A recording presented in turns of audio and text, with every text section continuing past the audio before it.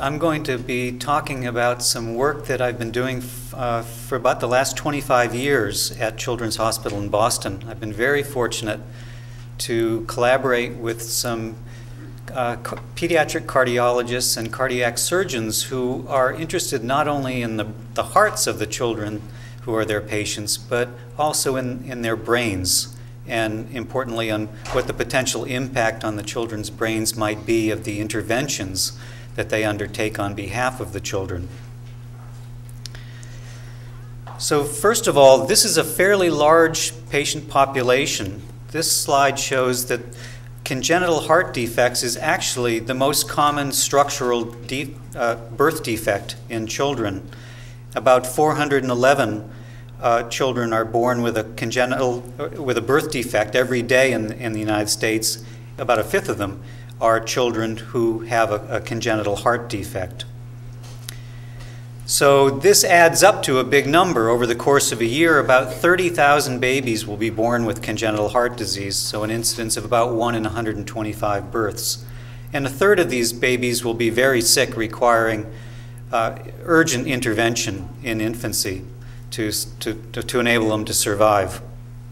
So congenital heart defect uh, accounts for about 30% uh, of birth defect-related deaths, although survival rates have increased dramatically in the last few decades. It used to be that only about 20% of children with congenital heart disease would survive. Now it's over 90%, which means that there are a lot of survivors of congenital heart disease about a million in the US population. And this population is so big, there's now a subspecialty within cardiology called GUCH, grown up congenital heart disease. So there are cardiologists who specialize in, in taking care of children who have survived into adulthood. And with these increasing survival rates, there's been increasing concern about how these children do in their lives, the quality of their life, specifically the neurodevelopmental outcomes and uh, in, how we may uh, help the children and their families to improve their outcomes. These are very often very sick babies. As I mentioned, about a third of them will require some kind of intervention very early in infancy. And this shows a, a picture of a child who's about to undergo cardiac surgery with ice packed around the head uh, to cool, cool the baby down, uh, uh, produce a, a, hypothermia that will reduce uh, metabolic rate and so reduce the uh, likelihood of some hypoxic injury. And the children are subjected to uh, uh, equipment that's quite unnatural. A lot of plastic tubing, blood flowing through plastic uh, tends to aggregate, the platelets tend to aggregate, increasing the risk of, of stroke. Um, so they're, they're, and, the, and the children are on cardiopulmonary bypass for quite long periods of time. So these are, are things that we think uh, we have reason to suspect might not be too good for the brain. But there are a lot of other reasons why these children might be at neurodevelopmental risk as well.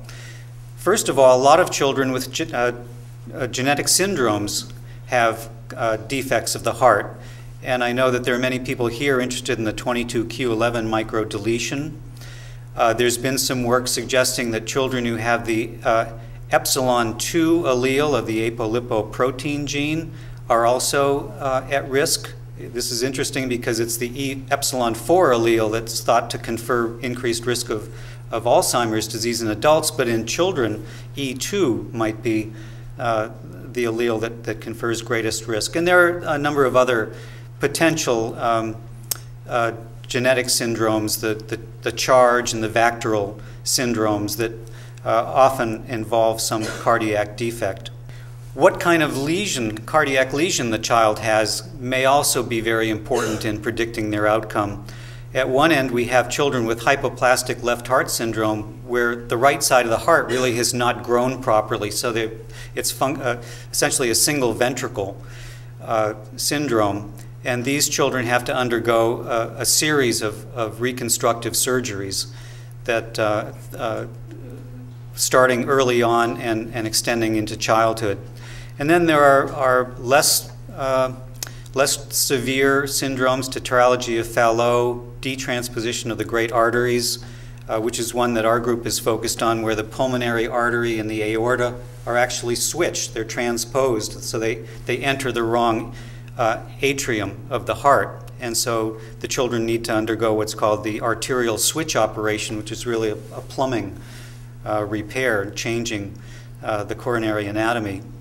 And then there are children with uh, fairly mild defects, like an atrial septal defect, a little hole between the two atria that uh, may not even be diagnosed until um, someone reaches adulthood.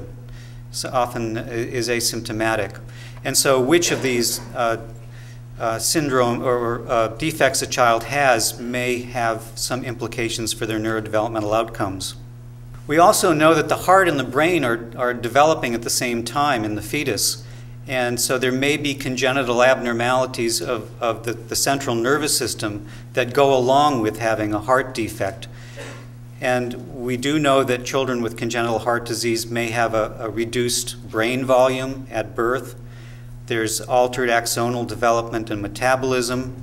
And we know that oligodendrocytes, which contribute to laying down of, of uh, white matter in the brain, they're, they're particularly vulnerable to the kind of hypoxic ischemic injury that may be associated with having a congenital heart defect. And so this is manifested clinically as white matter injury and specifically peri, uh, periventricular leukomalacia in the newborn. And so the children come, before they even go to surgery, we know that they have some abnormalities of the brain. Also, the babies are often very sick when, they, when they're going to surgery. We know they, they may have poor cerebral perfusion due to hemodynamic instability because the pattern of blood flow is, is altered in, in many of these heart conditions. And so the brain is not getting the, the oxygen and the nutrient supply that it needs. These children often have arrhythmias, they suffer cardiac arrest or, or thromboembolic events, and they have difficulty feeding, so they may not be properly nourished. We also know that these are very stressful uh, conditions for family members. And so there's reduced, when these children are in the uh, cardiac ICU, there's reduced opportunity for parent child interaction and stimulation and formation of the bonding that's so important. And parents are obviously and understandably anxious about these children, about uh, even after they go through their surgery, parents are anxious about how, uh, how active their child can be. And so some parents are, are very overprotective and so may reduce opportunities for peer interactions and, and participation in the regular activities of childhood. And then finally, there are the surgical methods that uh, are used in repairing these children. And these are, are what are called iatrogenic factors. They're, uh, they're caused by the medical interventions. And this is important because these are potentially modifiable. And if these methods do uh, have some impact on how the children develop subsequently, then maybe we can modify these factors and produce better outcomes. So uh, among the factors that we've investigated at our hospital are the vital organ support technique used to support the children during cardiac surgery, whether it's deep hypothermia with total circulatory arrest, where the heart is stopped, the blood is drained out of the children, leaving the surgeons with a nice uh, bloodless operative field, and, and then they can do the repair and then reperfuse the child, start the heart again, and, and start the circulation. Or is it better to place the child on a continuous low flow cardiopulmonary bypass during the operation so that there's some perfusion of the brain and kidneys uh, during the surgery? It's not obvious which technique is better, and, and when we did some of our studies, surgeons were using one or the other, but there had been no direct head to head comparison of which one was better.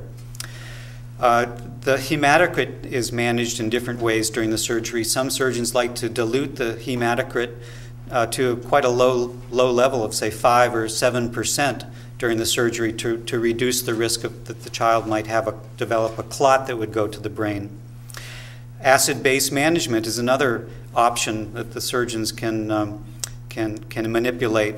Uh, when, when a child is cooled down to about 65 degrees in deep hypothermia, the uh, dissociation uh, coefficient of water is changed so that to maintain a physiological pH, it's necessary to add carbon dioxide into the bypass circuit. And uh, there are two strategies um, for managing acid base uh, balance during surgery. And, and again, uh, we didn't have any data about which one may have better implications for brain development.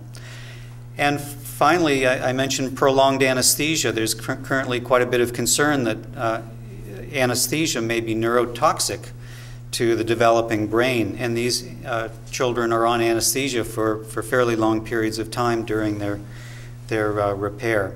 So there are an awful lot of factors that are potentially related to the neurodevelopmental outcomes of children with congenital heart disease. Now, this is a very interesting patient population. I've had the opportunity in some of our studies to follow children from uh, the, the perioperative period up through 16 years of age and to assess the children on multiple occasions, the same children, over this time.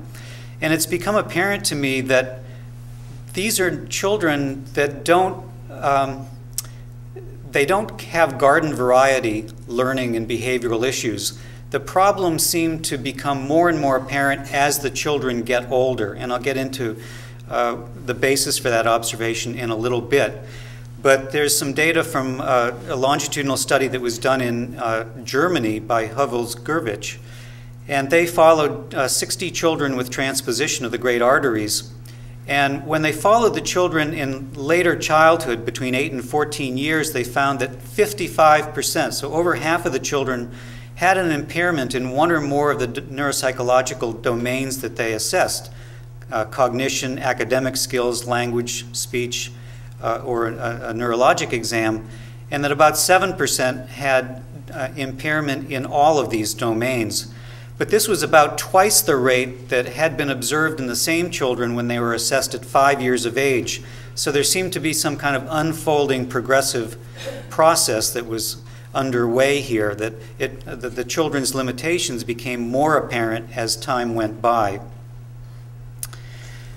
Now, the first observation I, I, I wanted to make is that IQ, which we always measure in these studies, doesn't really tell us very much about these children, about their strengths and their weaknesses. In many cohorts, the mean IQ is no different than 100, which is the, what you would expect in, in the general population. Usually it's a few points lower, maybe in the high to, or mid 90s. But certainly, uh, there's there are plenty of children walking around with IQs in, in that range that, that are doing just fine. And this is true re quite remarkably, even in, in cohorts of children, at least recently, who have these very complex single ventricle lesions, such as hypoplastic left heart, or even children who have undergone heart transplantation. Now, the, the only thing I would say is that in many cases, the variability, the standard deviation of the IQ scores may be a little broader, indicating that there are more low functioning children than you would expect in the general population, but on average, the groups are doing quite, quite well. So the implication of this is if we want to do surveillance to identify children with congenital heart disease at risk of neurodevelopmental problems, if we relied only on IQ, we would have a, a fairly high rate of false negatives. We would under-identify children who, in fact, seem to be at, at neurodevelopmental risk. One way of illustrating this is, is to show the frequency of significant ability achievement discrepancies, which means a discrepancy between a child's IQ and their academic performance in some area like reading or math. So these are data from a study we did, of, a longitudinal study of children with transposition, where we, at eight years of age, we assessed both their IQs and their uh, academic skills.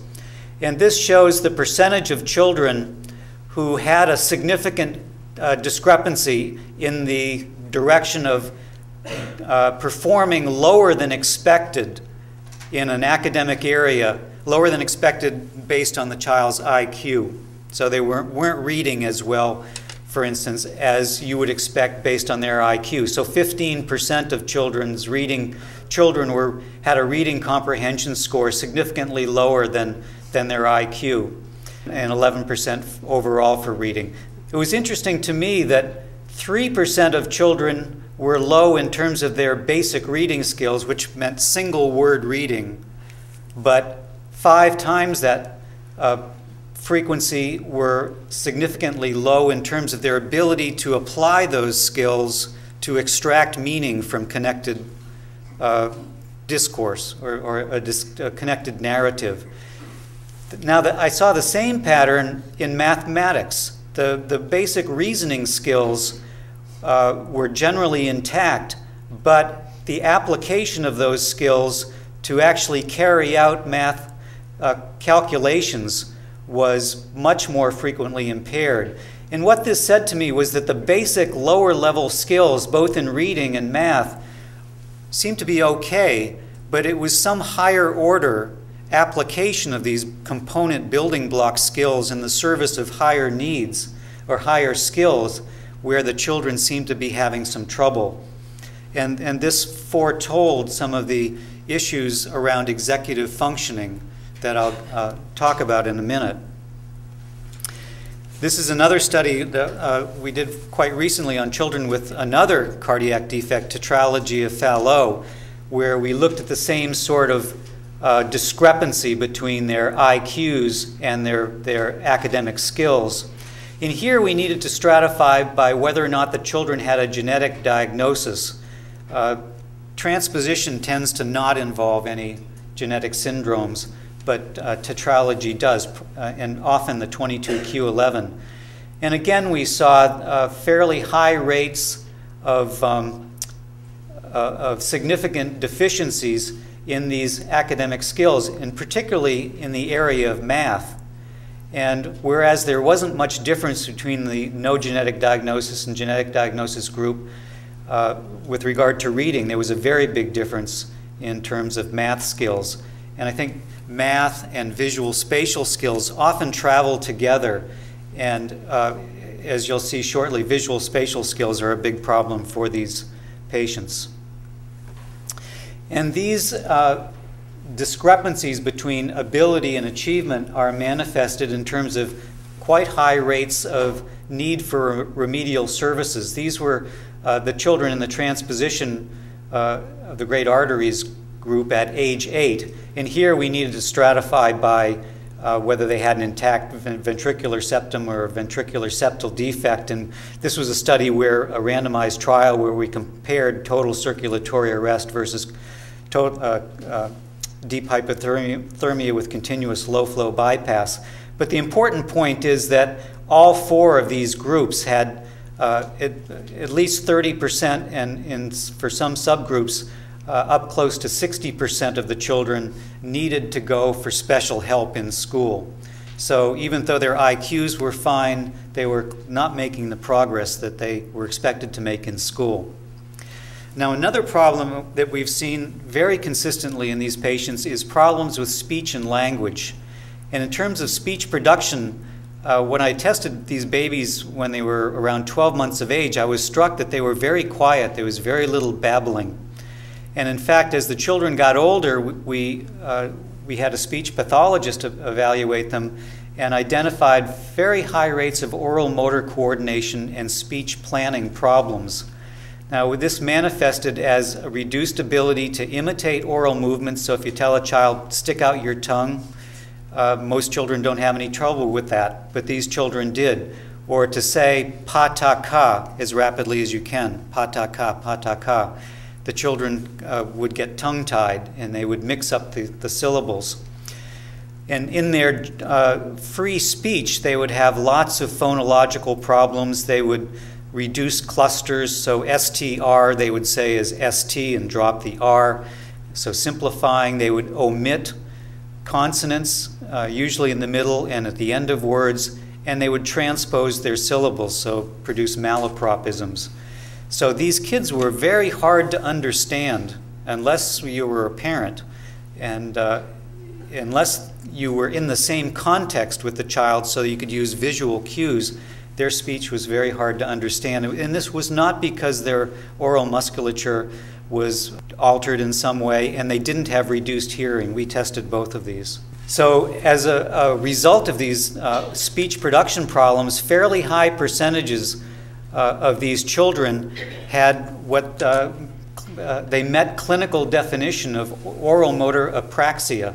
Uh, here was at four years, and even by eight years, still um, about uh, 12, 13% of the children met clinical criteria for apraxia. Now, this, the this, uh, language problems of these children was not limited to just their speech production. In fact, by four years of age, their, their, their mastery of syntax and semantics seemed pretty good, but there was something odd about the way they used language in social relationships. You know, language is, is useful because we do things with it. We, we form relationships with people. We, we, we get them to do things through language. And there was something off about the children's language. And so I formed a collaboration with some psycholinguists at the Harvard Graduate School of Education who are expert at what's called pragmatic language. And they provided me with some tasks that I administered to the children to try to probe this aspect of language and this is called uh, elicited personal narratives. So, what happened was I would provide a model for the children of telling an anecdote from the past. I would say, you know what I did last summer? I went on vacation and I went up to the north and I went to a beach and went swimming. Did you ever go swimming at a beach? And the child, every child has done that, and so they would, I would say, tell me about that. And, and we would tape record it. And we'd had um, two other narratives. One was about getting stung by a bee, and the other was by, about having a spilling accident. Again, these are things that, that most children have experience with. So we uh, elicited three narratives and chose the best of the three narratives to use in group comparisons. Now, in uh, characterizing these narratives, we, we developed a total score, and this was a combination of elements at the clause level. So uh, asked whether or not the child oriented the, the, the, listener, me, in terms of who was involved, what happened, where, and when. So provided some kind of markers to indicate these uh, critical pieces of information. And then uh, whether they told a, a story that, that had a, a clear logical sequence of actions that had some kind of plot. And then we had characteristics of the overall organization, so whether the story had an opening and a closing, whether it was enriched by having characters actually uh, produce speech, and again, temporal markers to say what happened first, then second, then later, and then whether there was a, a high point, the child clearly was indicating some kind of pivotal event that, that uh, brought the whole thing together.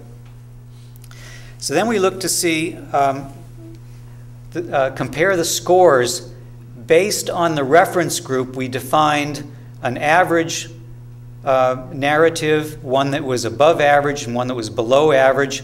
And first of all, we found that 15% of the children in uh, our TGA group didn't produce any narratives that could be coded at all. They simply sat there and looked at me and, and couldn't come up with any personal anecdote. And then uh, the other, um, about 80% of the children, um, or another 40%, uh, produced narratives that were uh, well below average in, compared to the um, uh, referent group of typically developing children. And you can see there was big differences in terms of the percentage of children in the, in the congenital heart disease group and the referent group that were average. Uh, not too much difference in terms of the above average here. But clearly the children uh, were having trouble with this task. And there were some interesting observations, too, in terms of the children's social cognition development, I felt. That compared to controls, there was very infrequent reference to the story participants' affective states.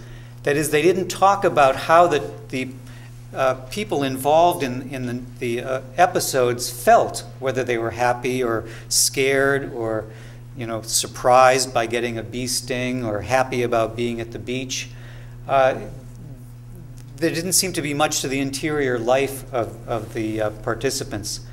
And they didn't refer very often to the, the plans and intentions of the participants and they made greater demands on the listener to infer in a lot of information to fill in. That is, they, they just didn't seem to be able to uh, anticipate the needs of the listener and, and then provide the information that would orient the listener as to what was happening to whom and when and, and what it all meant. So at age four, the narratives of the children resembled those of typically developing two to three year olds. And I repeated this task when the children were age eight, and they had improved, but they were still only uh, similar to the narratives of typ typically developing five year olds. We also had the children engage in a free play task with their parent. Uh, this was at age four. And all pairs, parent child pairs, were given the same standard set of toys. And what we coded was symbolic or non symbolic talk. So, symbolic talk was talk about characters, the imagined actions, speech and states, the story setting, and um, meta symbolic talk. Let's pretend that we're going to give the dog a bath, or let's pretend that we're going to rearrange the furniture in the living room.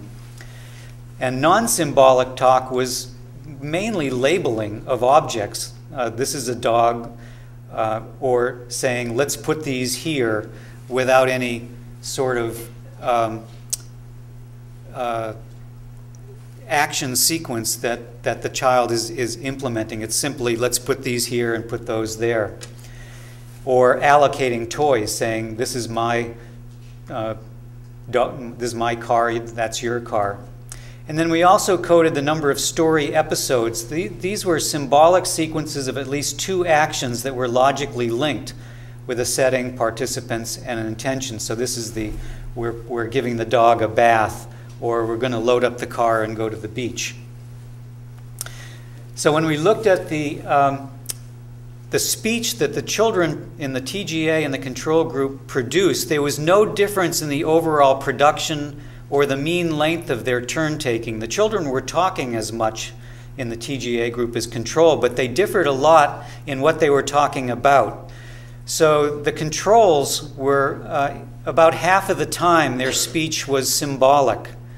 Uh, quite a rich content, far more than uh, in the TGA group. And the TGA group was engaging in, in a more non symbolic talk, sort of nuts and bolts talk about the toys but uh, nothing uh, richer than that. And then when we looked at the number of symbolic play episodes that the parents and the children engaged in, we saw a mirror image here. About two thirds of the uh, TGA and uh, children and parents didn't have any uh, sequences that met our definition of a symbolic episode, whereas about two thirds of the control pairs had it three or more symbolic play episodes, and this was just in the space of about seven to ten minutes. And what we found was that the children in the control or the referent group took a major role in constructing and elaborating these play episodes. That is, they, they played a character or they narrated the action and they, they helped to move the events along. They were really fully uh, uh, full participants in this.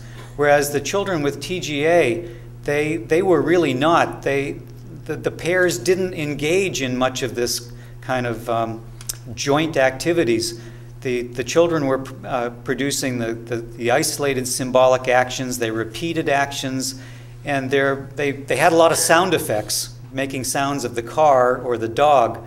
But the, it was the parent doing most of the work, providing most of the scaffolding for any, any of this episodic like uh, activity that was going on. It was not the child. We also had a, a, a, pragmatic language task that involved the children writing stories in response to a, a standard set of three pictures which showed a group of bears in a, forest. They were flying a kite, and in one of the pictures, the, the, kite gets stuck in the chair, and one of the bears goes up into the uh, tree to get it, and then the bear falls out of the tree and in the last picture, the other bears are carting this fallen bear away. So we had the children write a story, and we coded um, the structure and the content. So whether or not the children included all these key structural elements, uh, an introduction of what was happening, oriented the, the, the reader of the story as to what the, the tension was, the problem, and then how it was resolved and then whether or not the appropriate elements of the content the, the, the, the players and the events were, were represented in the story. And as with the elicited personal narratives, we found that the stories of the children with TGA were less likely than those of the children in the control group to, to identify the key uh, items other than the bear and the kite, and uh, less likely to provide uh, the reader with information about the events that were critical in giving the narrative its temporal coherence and structure. That is, the event that precipitated the bear's fall from the tree or the consequences to the fall. And I might mention the kids had terrible handwriting. These were eight year olds. It was hard, hard to read these, even uh, to do the coding. And you can imagine a child, so this is a child eight years old in second, third grade, a child who has to invest this much effort in the physical act of producing words on the page doesn't have a lot of cognitive space left over to think about what it is they're writing. So they're, they're behind the eight ball right from the start by virtue of their fine motor problems. Another area of striking weakness in these children is visual spatial skills. This is a task called the Rey Osterrieth complex figure, which is a very rich figure copying task. This is presented to the child, and they're given a blank piece of paper and asked to copy it. And this is kept in front of them while they do that. If the child sees that this is a big rectangle with diagonals, this, that's very important because then they can locate all the other details around this strong structure. But if the child has difficulty seeing the big picture, seeing the forest, and instead is stuck in the trees, then this becomes a very difficult task. So this is a pretty good copy by an eight year old of this task. The only thing wrong is that this vertical here doesn't make this junction up here. But all the other details are preserved. I'm going to show you a lot of different uh, copies now, and these are all copies. And here's the, the figure as it should be down here. You can see that this doesn't preserve any of the large structure. The child is making the task much harder than it has to be by drawing the individual elements. There's a very piece oriented approach instead of a configurational approach. This shows a, a, very interesting tendency. For instance, look at this portion up here. This is another uh, rectangle with diagonals, but what this child sees is not the overall structure, but a series of rectangles. And so the child draws the rectangles individually rather than the entire figure.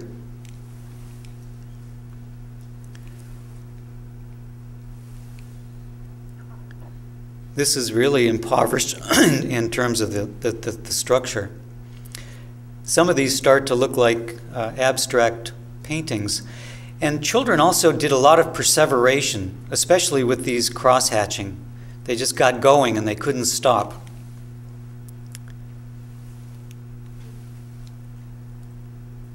Here's another example of perseveration with just stringing out these uh, uh, triangles. And I would say to the children, so after they finish, so this looks like that? And they would say yes.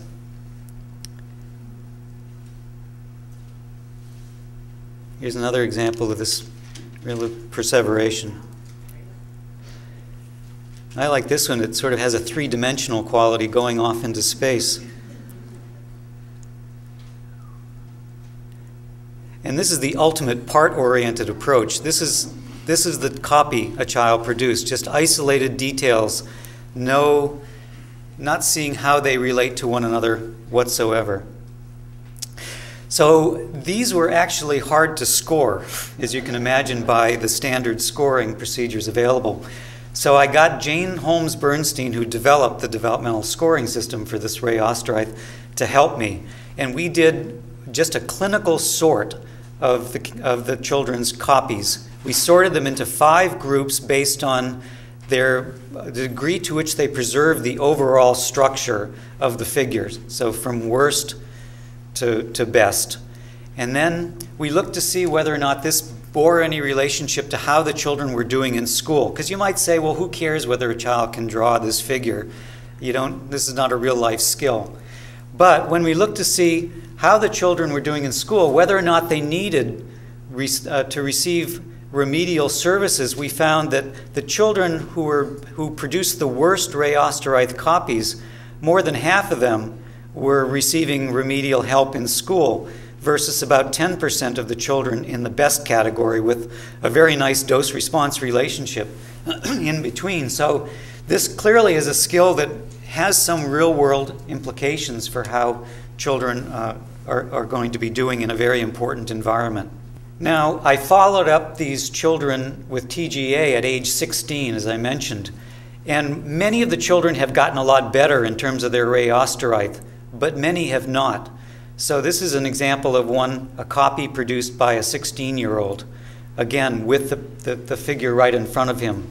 And this is his immediate recall of the figure. And here's another example from a 16-year-old. So clearly not complete recovery.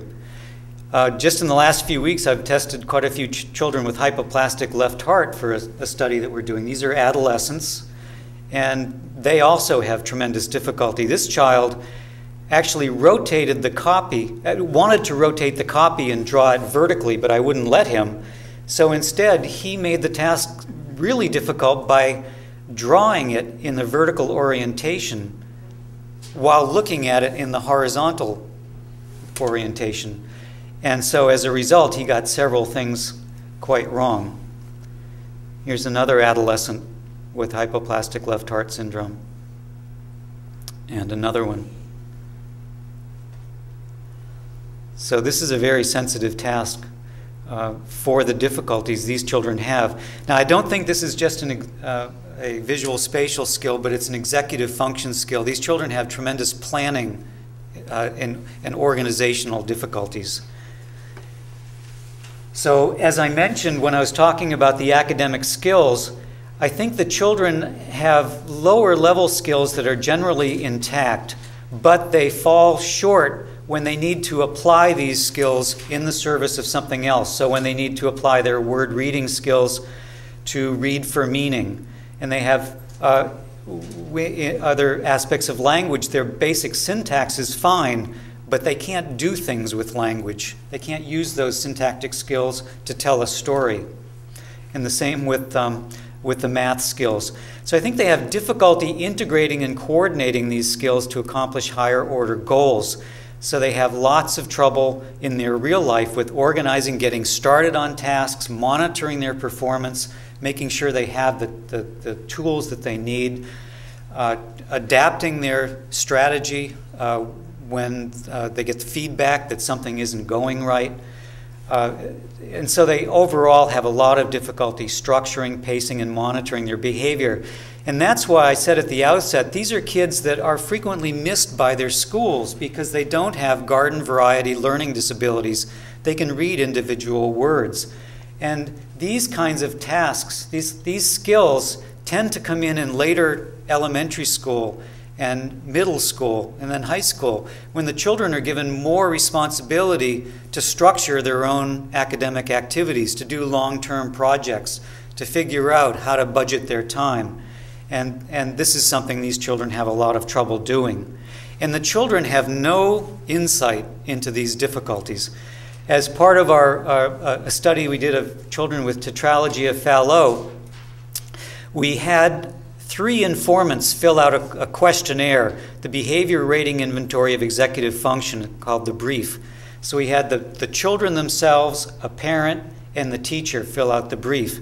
And on the brief, a high score is worse than a low score. And there are three main scores. The BRI is the Behavioral Regulation Index. So this is uh, uh, whether children can in initiate tasks, whether they can shift their strategies when they run into an obstacle, whether they can uh, regulate their emotions or whether they tend to fly off the handle. Metacognition index is, is, is primarily the organizational and planning uh, issues, and the general executive composite index is a combination of these two. So the mean expected mean score on the brief, this is a T-score, so you'd expect a mean of 50 and a standard deviation of 10.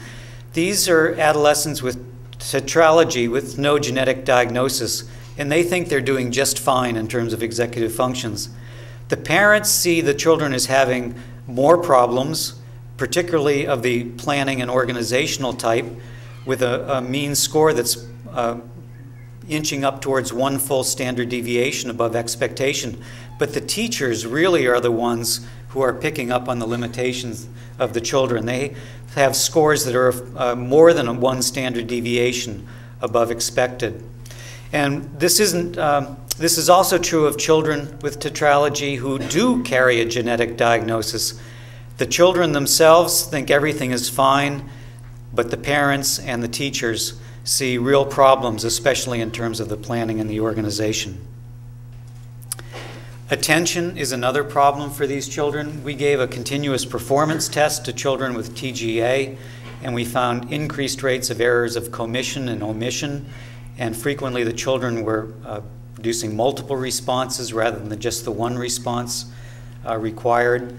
Uh, another study in Germany used a battery, the attention network test, uh, and this was children with tetralogy, and they scored worse on a test uh, that assessed uh, executive control, resolving conflicts between responses. So, attention executive functions are sometimes hard to, to distinguish, uh, but clearly within both areas, these children were having difficulties. And in another study done in Philadelphia at age 5 to 10 on an ADHD rating scale, the scores of clinical concern were three to four times more frequent among children with complex heart disease than controls and about a third had high risk scores on attention or on hyperactivity. And you, as you can imagine, some of these um, neuropsychological problems place the children at risk of, of uh, difficulty in their psychosocial adjustment and their peer relationships. And in this uh, cohort of children with transposition, we had the parents report at age eight using the child behavior checklist, and about a quarter of the children were in the borderline or clinical range on adaptive functioning, which captures the children's range of activities they're involved in, their social relationships, and their school performance. And we had teachers also report on the, the teacher form of the CBCL, and about 20% of the children were in the borderline clinical range in terms of academic functioning. Uh, internalizing and externalizing behavior problems were about the same frequency, but both parents and teachers identified uh, attention as a particular problem for the kids. We did find that children who earlier on had had evidence of CNS impairment, such as postoperative seizures, or abnormalities on a neurological exam at age four or eight were rated by the teachers as having more behavior problems. And children who had more teacher rated um, uh, indications of poor academic function at eight had showed a greater shift towards more problematic behavior between four and eight than children who were making adequate progress. So these academic problems and psychosocial problems were going hand in hand, not too surprisingly. And we found that the teacher ratings of the children at age eight were uh, predicted by parent reporting family characteristics at age four, uh, as it, uh, reflected on the parenting stress in inventory and, and a life events inventory. So, this is consistent with the causal association between early family dynamics and later child behavior, although we can't um, exclude the possibility that child behavior had already, prior to age four, been affected by parent reports of family dyna dynamics. But at least this is one uh, hypothesis that's consistent with the associations that we saw. Now, one of the uh, things that, uh, based on the evaluations that I've done of these children, have led me to form the, the hypothesis that these children have social cognition deficits and maybe deficits in theory of mind, in, in reading other people's uh, emotions and perhaps their own emotions. So, on the pragmatic uh, language test, you recall I said the, they infrequently made reference to participants' affective states, internal states, uh, or to participants' plans and intentions. They didn't engage in a lot of symbolic sequences in free play, and their written narratives, uh, as well as their elicited narratives, just didn't seem to be taking account of, of the, the, the internal, the, the mental states of the person they were talking to and doing what they needed to do in order to fully engage in, a, in an exchange with that person. So, in our later studies, uh, we've been administering some social cognition tests. And some of you are probably familiar with this the reading the mind and the eyes test developed by Simon Baron-Cohen, where child is just shown photograph around the eye region and then given four choices and asked to say, what is this person thinking or feeling? So the, the task consists of 36 of these pictures. Anybody have a guess? That's right. How about this one? Desire, right. So you can see if, if an adolescent mistakes uh, desire for disgust, uh, peer, peer relationships are probably not going to be too strong.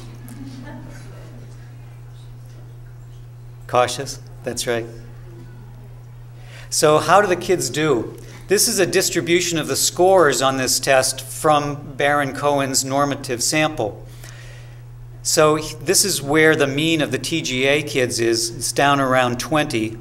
And the TOF, tetralogy of Fallot children, especially the ones with a genetic syndrome, the white arrow, are down around 17. And the, the tetralogies without a genetic syndrome around uh, 18.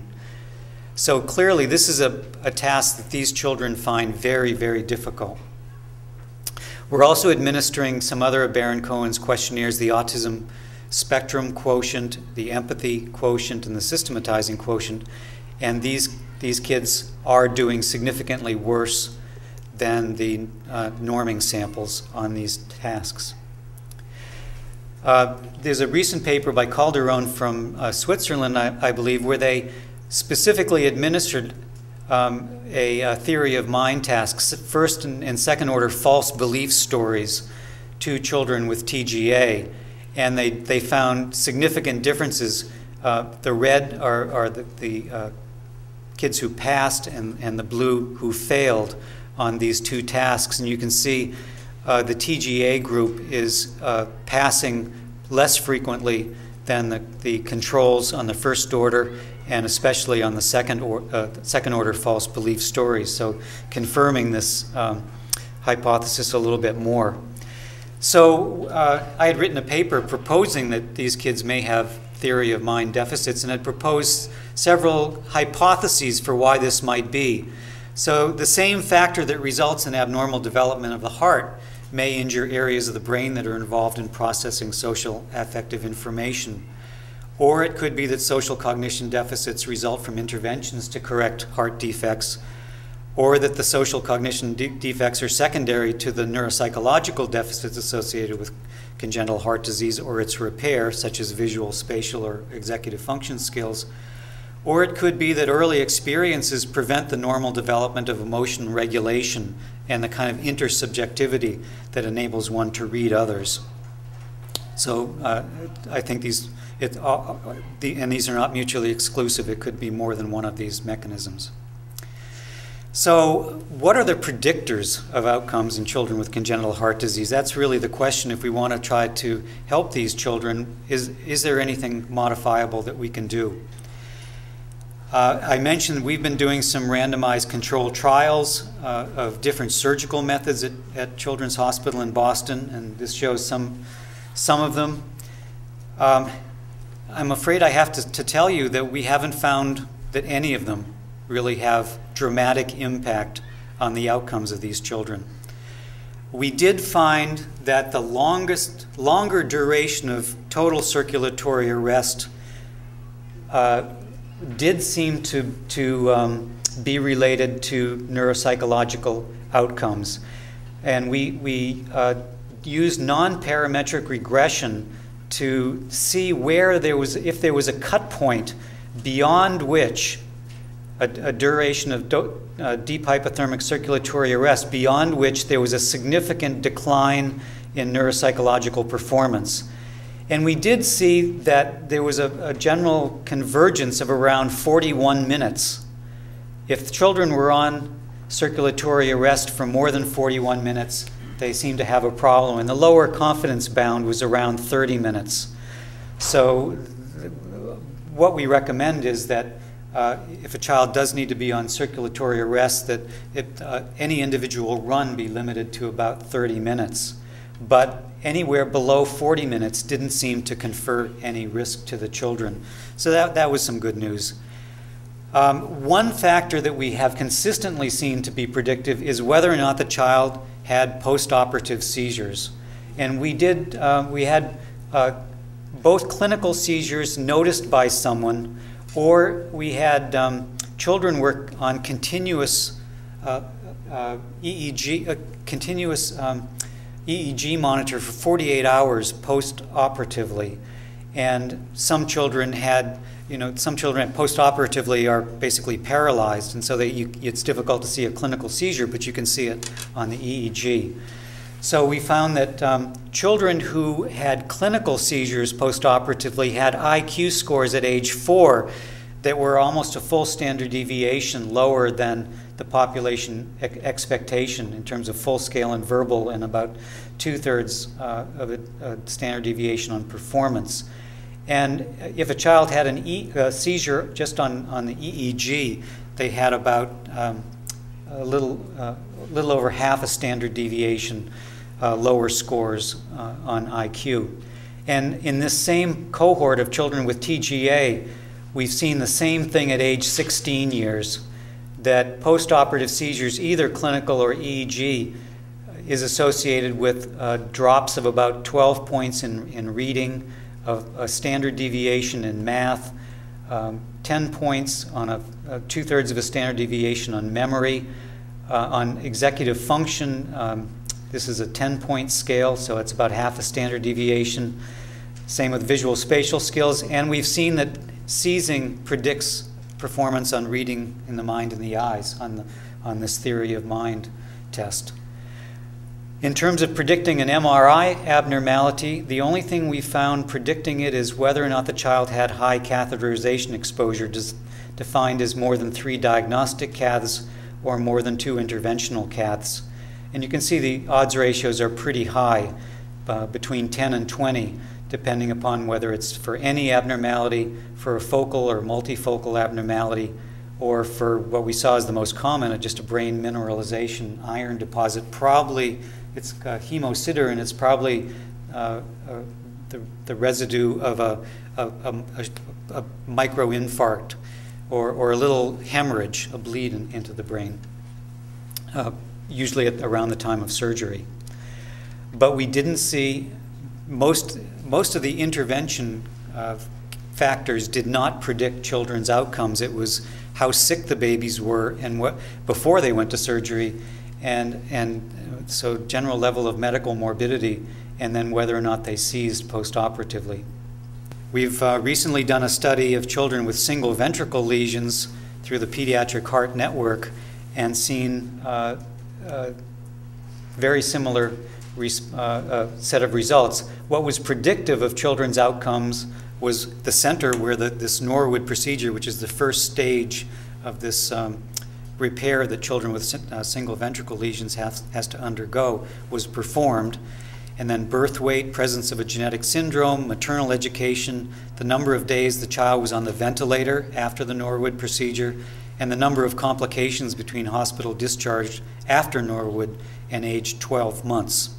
What wasn't predictive was everything else about the surgery the perfusion method, the duration of circulatory arrest, the type of shunt that was used uh, during the Norwood, acid base management, and hematocrit management.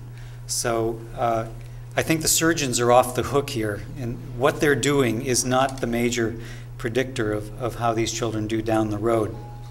So as a result of all this work, 25 years of work, at a Children's Hospital in Boston, we've recently organized what we're calling the Cardiac Neurodevelopmental Program. It's become obvious to us that this patient population is falling into the cracks. They aren't being picked up by their schools, their general pediatricians. And so as a result, it's that their problems are being identified at a rather late stage. And we think that identifying them earlier would be beneficial. So we've developed this program that any child who has undergone cardiac surgery within the first year at our hospital uh, is eligible for this program. Also, any child of any age who's been placed on ECMO, usually as a bridge to transplantation, uh, and we know is is a fair it's a fairly uh, a risky intervention, but sometimes it's all that uh, will keep a child alive. Any child who, at any age, uh, who's pre or post transplant or having a heart lung transplant, child of any age who's on a ventricular assist device, again, this is usually a bridge to tr heart transplantation, or a child of any age diagnosed with velocardiofacial syndrome. So, what do we do for these children? We, we provide a comprehensive psychological assessment to address uh, all of these concerns. So every, this is done before the child is, is discharged initially from the hospital post-surgery. There's a meeting with the parents, uh, uh, uh an evaluation of the child, and, uh, uh, and, and anticipatory guidance for the parents as to what to expect. We also are providing guidance and support for expectant parents whose, we, whose babies have been diagnosed in utero with cardiac disease, so it's not a, a surprise uh, when the baby is born. The parents have some preparation. We are uh, providing interventions for parents and families to address uh, a lot of the regulatory disorders that these children have. They have trouble feeding and sleeping and a lot of behavior difficulties, so we're trying to anticipate those problems and help uh, families identify uh, emergent problems. And then we working with schools to, to design and implement special education services for the children. And then there are some ancillary uh, elements as well. We're trying to develop a network of community resources to provide seminars, uh, educate parents about these issues, to provide groups for the children and their siblings uh, to, to, uh, so everybody understands uh, what the challenges that, that these children will face, and a school consultation program, again, to advocate on behalf of these children. And of course, we're trying, we have a research component too. We want to develop a registry uh, of children with congenital heart disease so that will be a clinical and a, a standard collection of, of data will be collected on all of these children to support uh, clinical and uh, research studies in the future. And this is an issue that's resonating. Uh, other centers at Children's Hospital of Philadelphia and Emory University, they're organizing very similar programs along these lines to, to help this, uh, what I think has been a neglected patient population. And thank you very much.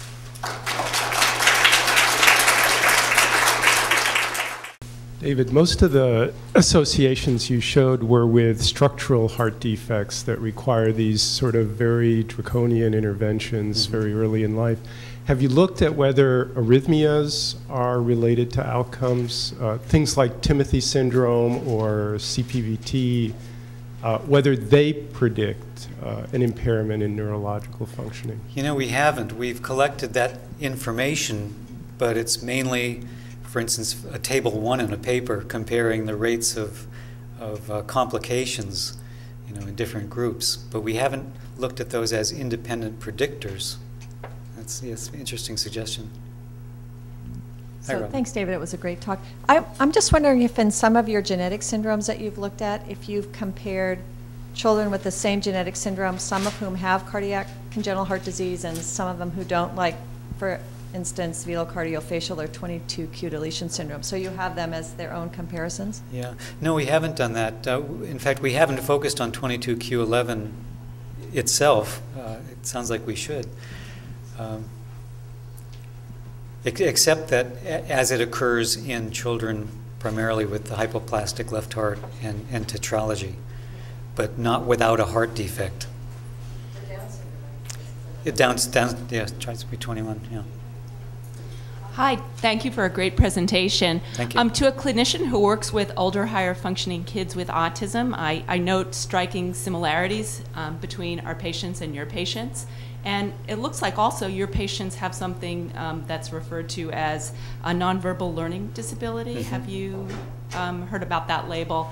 Oh, uh, sure. Yeah it describes a lot of kids with um, some of the reading comprehension deficits and mathematics deficits. And the and pragmatic so that, language and, and, and, and reading, language. reading other people, yep. white matter injury. Yep, yeah. you got it.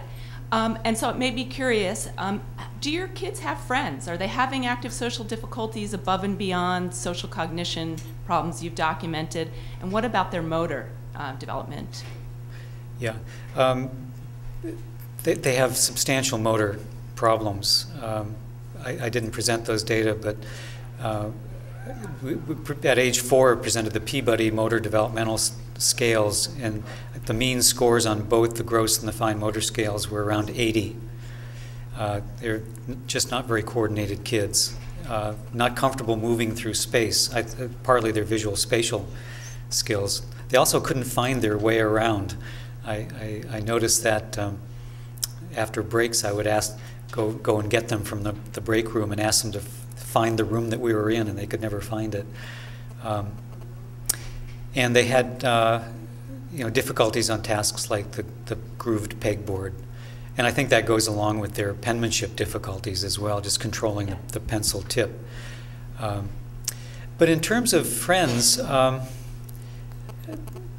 there, there is an Asperger quality to a lot of these kids. They, they, they, I'm blinded when we have, a, we have studies that have kids with heart defects and controls, but I'm almost always sure who's who. Just because, uh, you know, you get a, especially with teenagers, uh, a normal teenager is actually not that hard to pick out. You know, they're kind of bubbly, they make contact. but um, the cardiac patients, they, they have kind of, they don't give you much. Their faces are kind of stone like. And they, they answer your questions, but they don't elaborate. You can tell jokes and they don't laugh. You know, they're just different. And I, um, I, I can't imagine that their peer relationships are, are all that broad and, and satisfying. But it's not something that I probe about either. Uh, we do have a component uh, that's uh, doing a, a psychiatric interview to get at those sorts of things, but we haven't looked at the data yet. I think that'll be really interesting. Yeah.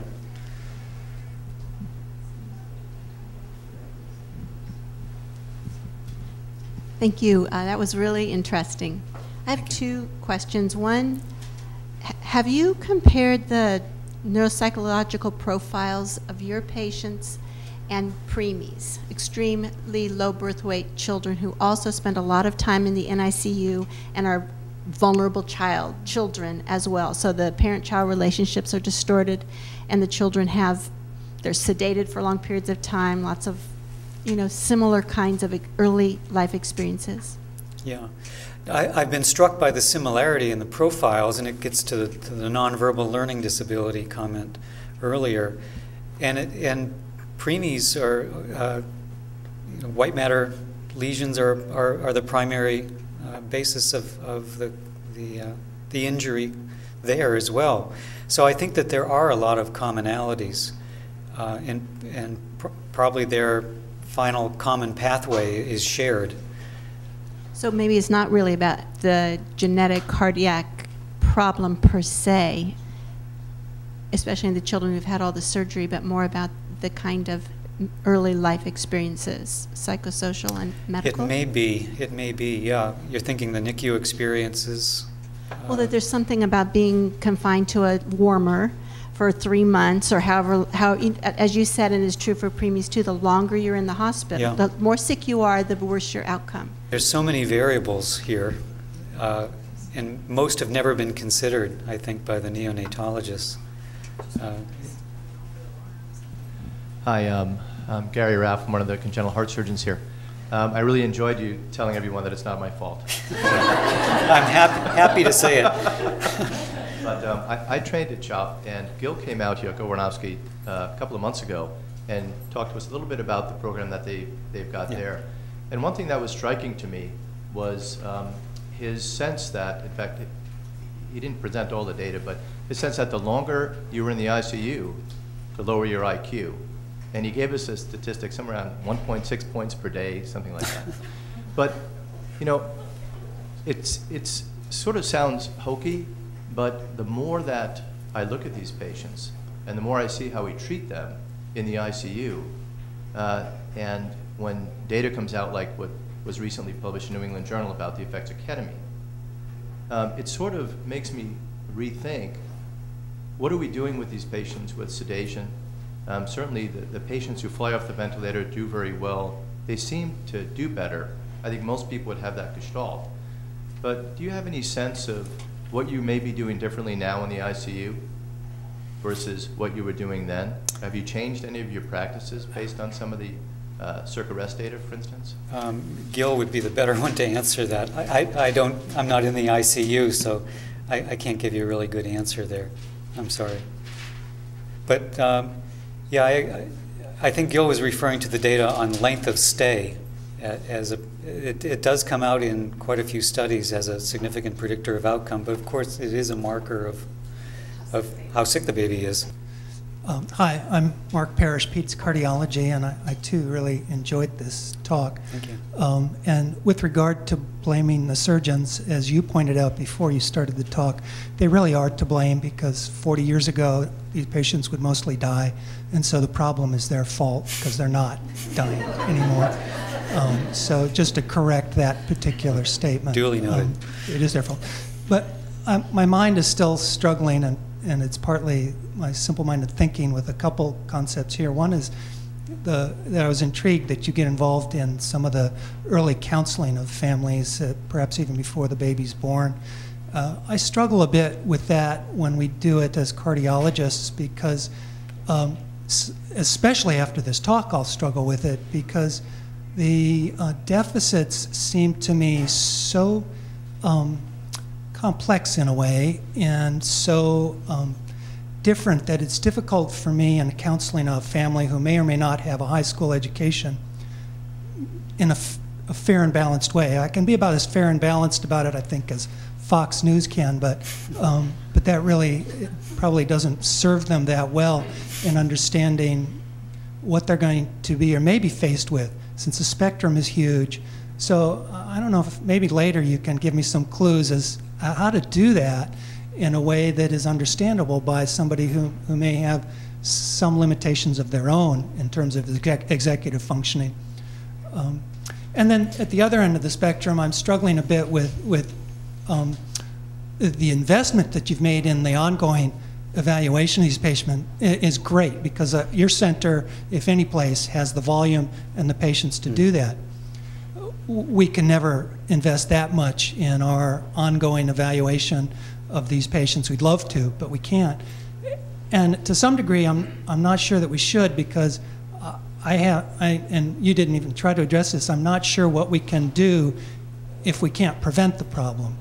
I, I don't know how many of these kids, if it's truly executive function, are going to respond to the kinds of treatments that are available in the autism program. I, I don't know. I'd like to see the data of how, how they would respond to the treatments that are available, how they would respond to school interventions, and so forth. But um, I, it's that's a little hard for me right now to grapple with as well. So, comments or yeah. Well, it, it's a general problem. You never uh, it, you have to know who you're speaking to and tailor your message in a format you think that they can hear. And uh, I think an important message is that the variability that you identified. I mean, some children do quite well, and it's not every child who can't draw the Rey figure or has terrible penmanship. So I think parents can be told about the, the variability and that we don't know where your child, how your child will do. I mean, if the child has seized postoperatively, that gives us a little more information that uh, would help us with, with uh, guidance. But um, I mean, I think we have to be honest and, and tell them the range of potential outcomes and what we know uh, are predictors. Uh, in terms of things that will help, I mean, these are problems that are seen in children without congenital heart disease as well.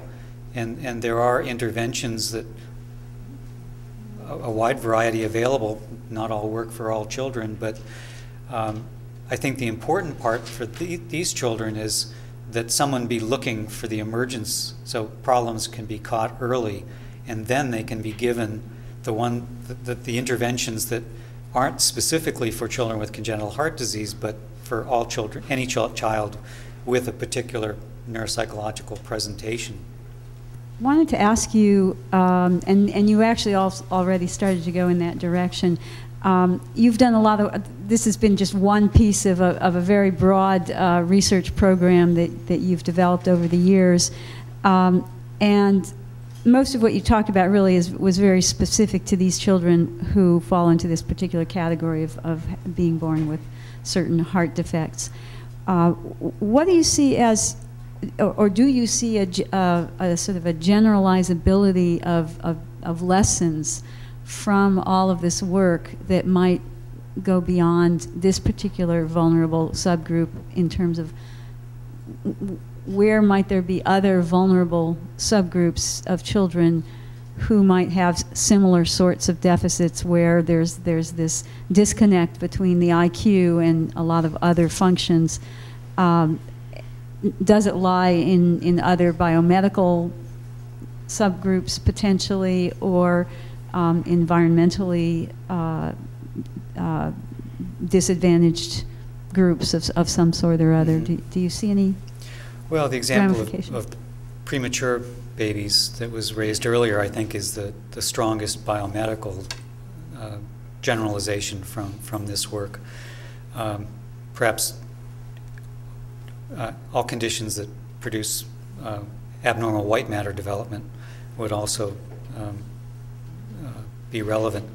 In terms of environmental exposures, I think that's a, a more complicated issue because there we have the timing and dose that uh, come into play, which doesn't really complicate uh, the congenital heart disease uh, issue so much. Um, you know, a given chemical could have a very different effect on a child if it's prenatal exposure versus exposure at five years of age, because it's the nervous system is is different at those two points, and so uh, the, its impact, both in terms of the severity and in the nature, the specific presentation, neuropsychological presentation, would probably differ, which I think is one reason why we haven't seen behavioral signatures uh, for environmental exposures like lead and mercury and so on. Uh, whereas I think we have behavioral signatures for some of these more biomedical conditions uh, like Rett syndrome, um, Prader-Willi, uh, even the congenital heart disease that, uh, uh, that we don't see for these exposures that vary in their timing. So I think it's probably more generalizable to the biomedical area than environmental exposures. Thank you very much. The UC Davis Mind Institute began in 1998 with a promise to find cures for neurodevelopmental disorders. Every day, our physicians and researchers come closer to fulfilling that promise. Their groundbreaking research on autism, Fragile X syndrome, learning disabilities, and other brain disorders is helping children achieve their fullest potential. Please call or visit our website to find out more about current studies, our research team, and upcoming events.